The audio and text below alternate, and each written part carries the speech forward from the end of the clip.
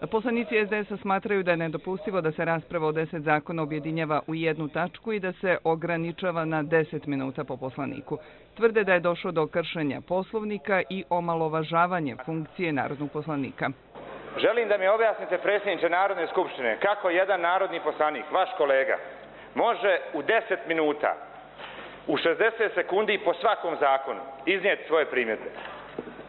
To je teoretski nemoguće. Recite nam ovdje jasno i glasno, neka ustane premijerka i kaže da je veliki Baja naredio njoj u bijelim čiznicama da naredi vama u parlamentu koji je protočni bojler Milorada Dodika da radite to što radite.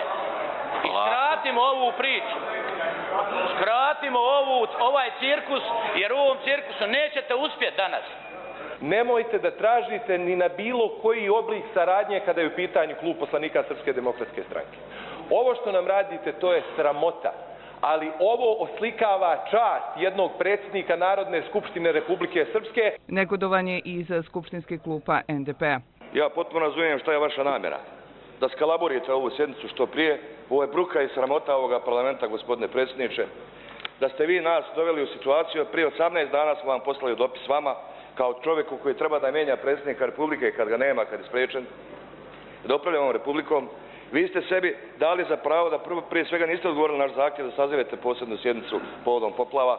Radojičić je rekao da su neosnovane primjedbe opozicije da je došlo do povrede Skupštinskog poslovnika. Vama se može poslovnik ne sviđati, može vam se ne sviđati predsjednik Skupštine, ali to nije tema.